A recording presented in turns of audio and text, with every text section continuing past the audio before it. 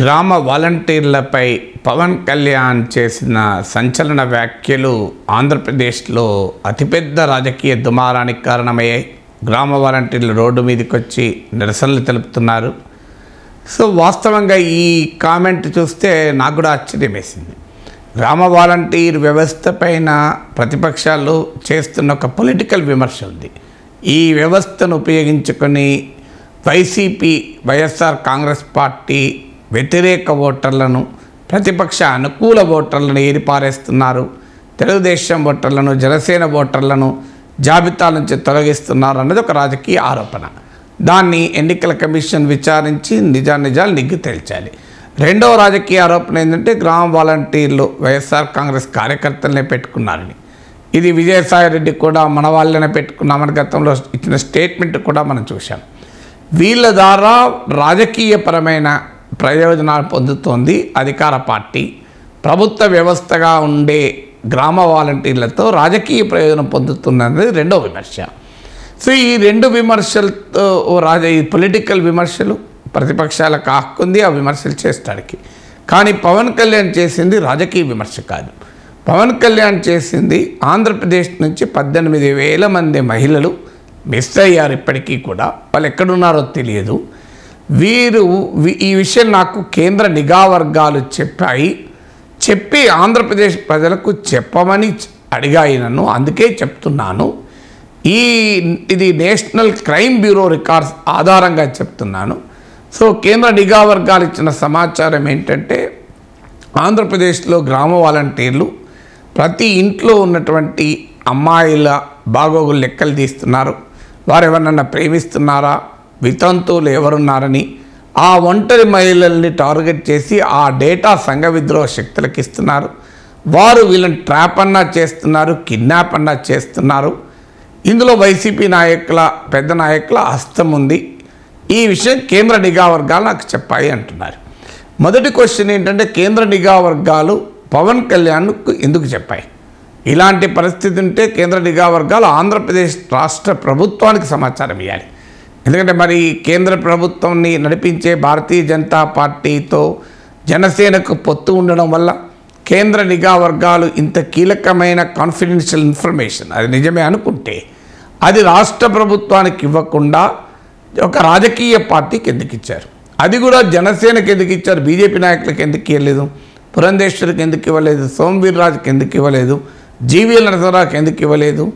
So దేశాన్ని పాలించే రాజకీయ పార్టీ నాయకులకు ఇవ్వకుండా ఆ పార్టీకి మిత్రపక్షంగా ఉన్న పార్టీ నాయకుడికి ఎందుకు ఇచ్చారు? ఇప్పుడు కేంద్ర నిఘా సంస్థలకు కూడా దీనిపైన క్లారిఫై చేయాలి. It's a breach of confidentiality ఇలాంటి సమాచారం అనేది బయట వ్యక్తులకు వెళ్ళడం ద్వారా చాలా సమస్యలు వస్తాయి. అది కూడా మరి పవన్ కళ్యాణ్ చెప్పి ప్రజలకు చెప్పమని ఎందుకన్నారు కేంద్ర నిఘా సంస్థలే ప్రజలను అప్రమత్తం ఎందుకు చేయలేదు? ఇలా జరుగుతోంది అని అప్రమత్తం చేయాలి కదా. సో అందువల్ల ఈ ప్రశ్నకు ఆన్సర్లు ఉండాలి. అలాగే పవన్ కళ్యాణ్ ఈ విషయంపైన ఇంత తీవ్రమైన అంశంపైన ఒక సభలో మాట్లాడడం కాదు కదా పోలీస్ స్టేషన్లో కంప్లైంట్లు ఇవ్వాలి గ్రామ వాలంటీర్ల పైన కేసులు పెట్టాలి నిజమే అనుకుంటే హైకోర్టులో కేసు వేయాలి ఏదీ లేకుండా ఒక ఒక ఆరోపణ చేసి వదిలివేస్తే అది ఏ రకంగా న్యాయం అనిపించుకుంటుంది. అందులో కూడా గ్రామ వాలంటీర్ వ్యవస్థ పైన ఒక వ్యక్తులుగా ఎవరైనా తప్పు చేస్తే వాళ్ళను అనడంలో అర్థం ఉంది. కానీ మొత్తం గ్రామ వాలంటీర్ వ్యవస్థే హ్యూమన్ ట్రాఫికింగ్ అంటే మహిళల అక్రమ రవాణాకు ఉపయోగపడుతుంది అనేది చాలా చాలా తీవ్రమైన ఆరోపణ. అదే నిజమైతే దాన్ని అది చాలా పెద్ద సమస్య. అందువల్ల ఇలాంటి ఒక అతి సీరియస్ ఆరోపణను ఇంత క్యాజువల్గా ఒక బహిరంగ సభలో చేయడం చేసి మాత్రమే ఊరుకుంటే లాభం లేదు. దీనిపైన ఖచ్చితంగా ఒక public interest litigation Pawan Kalyan హైకోర్టులో వేయాలి. జనసేన కార్యకర్తలు ఏ గ్రామాల్లో వాలంటీర్లు ఈ పని చేసి ఉంటే దాని మీద పోలీస్ స్టేషన్లో కేసులు పెట్టాలి. అదేమి మాకు సంబంధం లేదు మేము ఆరోపణ చేసి ఊరుకుంటామంటే ఒక ప్రభుత్వ ఉద్- వ్యవస్థ పైన ప్రజల్లో తీవ్రమైన అనుమానాలు కలుగుతాయి. రేపు గ్రామ వాలంటీర్లు వాళ్ళ పనులు కూడా చేయలేరు. వాళ్ళ ఇంటికి వచ్చేటప్పుడు వాళ్ళపైన అనుమానాలతో కుటుంబాలు చూస్తాయి. అంటే ప్రజలకు ప్రభుత్వ వ్యవస్థకు మధ్య ఒక తీవ్రమైన అపోహను అనుమానాన్ని భయాన్ని కలిగిస్తే అది వ్యవస్థలు ఏ రకంగా పనిచేస్తాయి? వ్యక్తుల్ని విమర్శించడం వేరు. మొత్తం వ్యవస్థనే ఒక హ్యూమన్ ట్రాఫికింగ్ మాఫియా లాగా అభివర్ణించడం అతి అత్యంత బాధ్యతారాహిత్యం. మరి పవన్ కళ్యాణ్ తన ప్ర టార్గెట్ వైఎస్ఆర్ కాంగ్రెస్ను జగన్మోహన్ రెడ్డి ప్రభుత్వాన్ని చేసే క్రమంలో గ్రామ వాలంటీర్ వ్యవస్థను టార్గెట్ చేయడం అనేది సహజంగానే ఆ గ్రామ వాలంటీర్లు కూడా రియాక్ట్ అయ్యారు. కోర్స్ ఆ రియాక్షన్ వెనకాల వైఎస్ఆర్ కాంగ్రెస్ ఉంటే ఉంటుంది. రాజకీయ పార్టీలు ఉండకుండా ఎందుకు ఉంటాయి ఇటువైపు ఉంటాయి అటువైపు ఉంటాయి రాజకీయ పార్టీలు కదా. ఇప్పుడు ఉద్యోగులు సమ్మ సమ్మె చేస్తే ప్రతిపక్ష పార్టీలు న్యూట్రల్గా ఉన్నాయా? ఆ సమ్మకు మద్దతు ఇవ్వలేదా? అందువల్ల ఇలా పవన్ కళ్యాణ్ వ్యాఖ్యలకు గ్రామ వాలంటీర్లు నిరసన తెలిపితే దాని వెనకాల వైఎస్ఆర్ కాంగ్రెస్ అనివార్యంగా ఉంటుంది. రాజకీయాల్లో అది కాదు సమస్య. సమస్య ఏంది? ఇది నిజమా?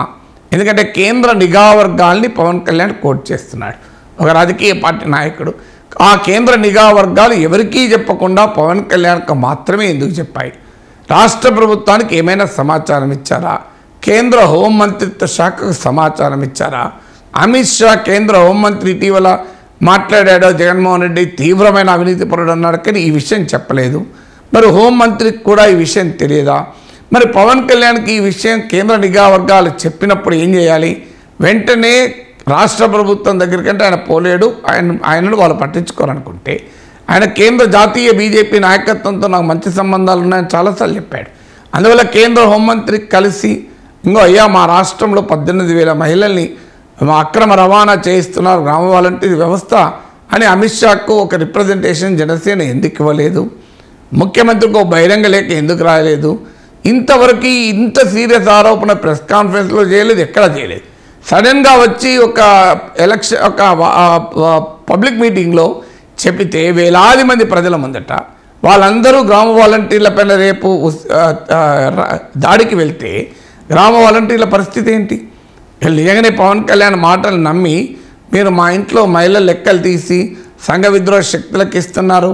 ట్రాఫికింగ్కు ఉపయోగపడుతున్నారని గ్రామ వాలంటీర్ల పైన తిరగబడితే ఇది serious law and order problem కూడా దారితీయదా అందువల్ల ఇలాంటి అంశాలపైన నిర్దిష్టమైన సమాచారంతో సంబంధిత సంస్థలకు ఫిర్యాదు చేసి అప్పుడు ప్రజా డొమైన్లో పెట్టాలి. పబ్లిక్ డొమైన్లో అది ఏమీ చేయకుండా ఒక జా ఒక రాజకీయ పార్టీ దానికి ఒక నాయకుడు కోర్టును ఆశ్రయించకుండా పోలీస్ కంప్లైంట్ ఇవ్వకుండా కేంద్ర హోంమంత్రిత్వ శాఖకు రిప్రజెంట్ చేయకుండా రాష్ట్ర ప్రభుత్వానికి తెలియజేయకుండా కేంద్ర ఏజెన్సీలకు చెప్పకుండా ఓ గవర్నర్కి రిప్రజెంటేషన్ ఇవ్వకుండా పని ముఖ్యమంత్రి అంటే అపాయింట్మెంట్ ఇవ్వడం కలవడం అనుకుందాం. ఒక గవర్నర్కి వెళ్ళి రిప్రజెంటేషన్ ఇవ్వచ్చు కదా. ఇంతవరకు అవి ఏది లేకుండా కేవలం నేను సభలో మాట్లాడతా తర్వాత జరగబోయే దానికి సంబంధం లేదు అంటే అది ఎట్టి పరిస్థితుల్లో అంగీకరించబడదు. రాజకీయ విమర్శలు చేయడం వేరు.